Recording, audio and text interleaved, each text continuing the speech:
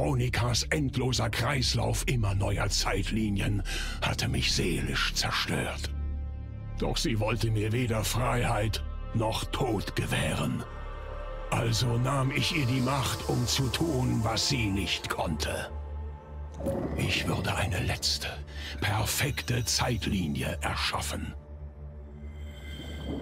Doch es war schwerer, als ich dachte. Die Sterblichen weigerten sich, ihren vorgegebenen Pfaden zu folgen. Mit jeder Zeitlinie nahm mein Frust zu. Langsam verstand ich, was Chronika in den Wahnsinn getrieben hatte. Vielleicht brauchen Sterbliche keinen Herrn der Zeit. Ich opfere Körper und Amt, um den Sand so umzuformen, dass das Stundenglas eigenständig läuft.